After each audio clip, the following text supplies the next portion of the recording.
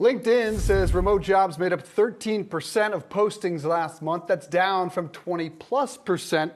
CEOs like Citi's Jane Fraser talking about bringing back underperformers to the office. So, will that return to office bring a return to more formal office clothing? I hope not. Nate Checketts also hopes not. He's the co founder and CEO of Rhone, who they say is the most comfortable men's apparel guaranteed. Nate, good to see you. Uh, see you. So we changed in the COVID times to these comfortable clothing. Is that a permanent shift in men's attire? There's no question. I mean, once you get more comfortable, going back is just not an option. But I think what is the next evolution of that is bringing comfort to traditional silhouettes. You've got our commuter shirt on, commuter pants. I mean, nobody would know that you're wearing the most comfortable. You could sleep in that. I mean, it's that comfortable. And I could. Uh, and um, I I actually ran the London Marathon in that dress shirt, so you could do just about anything in these clothes.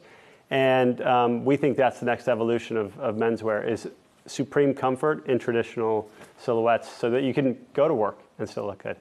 And Nate, your numbers are so impressive. Taking a look at these, retail sales growing over 200% last year, projected to grow another 242% this year. Are you able to keep up with that demand, and what do those expansion plans look like? I mean, one of the great things for us is that retail is a growing channel, and we believe that um, these channels kind of support each other. There's so much opportunity. We only have nine stores coming out of this year, so growing 200% is, is absolutely achievable for us. We plan to grow triple digits in retail for the next several years. Are you not seeing a pullback in consumers that have just been stung by inflation?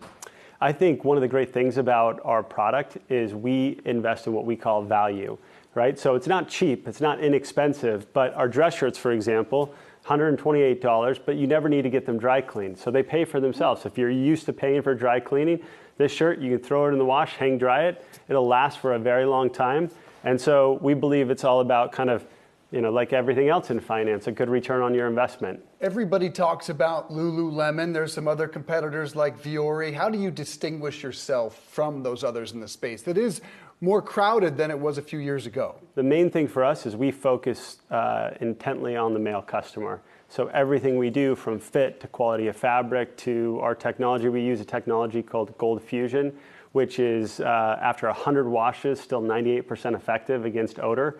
Nobody else in the market uses this technology, and that's because we're obsessed with serving our customer. So I think it's about doing things a little bit differently. A lot of people want to talk about uh, the competitors. In our office, we talk about the customer. Well, Nate, you're making me a bit jealous because I know you just do the men's line. I wish you did women's. The fact that it's so versatile, the fact that it's so comfortable, you could just throw it in the wash. I know you don't do it now, but any plans are you thinking about getting into the women's business? You know, I think that um, there's so many players in the women's market. If we were to do it, we have to have a point of view, and we've got to do it better than everybody else. And so that's that's the challenge for us. And you know, it's not now, but I won't say never. So we'll we'll have to see. You learned a lot through the COVID pandemic, as most businesses did. You yeah. opened your first store at Hudson Yards in New York City right before the pandemic, yep. which is the worst possible timing. So what bad. did you learn as a business leader throughout that period? I, I, there were so many lessons, I think mostly around people management. At, at a certain point, you were just trying to give your team, your customers hope. In the beginning of the pandemic, I remember everybody was sending out these emails like, don't worry, we're taking care of our team, we're closing our stores.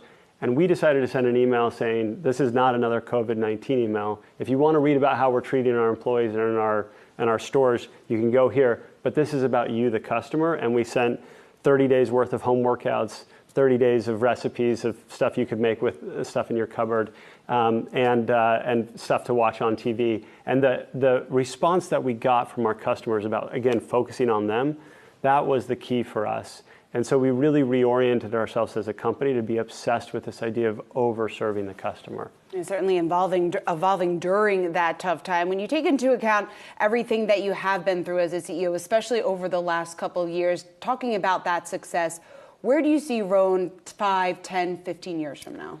You know, I, I hope absolutely to still be doing what we're doing and you know in a bigger way. It's about growing our megaphone. The most important thing for me as a brand, we focus a lot on mental health. So there are so many active brands that focus on physical health, lifting more, jumping higher, running faster. we think that health is not just about your physical health, it's about a full balance there. And so um, we, I'm really excited to grow our megaphone and to talk about men's mental health, which we think is a, is a big issue, and think about treating our mental health like mental fitness in the same way that we think about our physical fitness. Wholeheartedly agree with that message. Real quickly, belt bag or fanny pack, whatever they want to call it, your men's brand. Should we be wearing these things? You know, I'm not a, a sling bag. You could go with a number of different ways. I think that I think it's a I think it's a fad. But we've got one, and they're they're. Oh, you, you do? Know, I we've didn't got realize one. You that. can you can you can buy it at our store on our website. We partner with a, a company called Bellroy that we like. I haven't committed to making one ourselves yet because I'm with you. It's like I haven't either. Guys, it's so convenient. do I'm it. telling It's- you, once you try it, you're not going to go it- back. It's like comfort. I, I'm telling you, you go to if you're, you know, I'm a dad. I've got three boys. When we travel, I wear the sling bag. I'm not. I'm not afraid to admit it. I'm not putting. I'm not. I'm not fanny pack yet. fanny packing it? Not fanny pack. shoulder? I got the sling bag. It makes me feel a little bit better. Uh, I fanny pack it all the time. I have two boys at home, Yep. and I need everything on me at all times. Nate Check, it's great to have you, CEO of Rhone. Thanks so much for joining us. Thanks.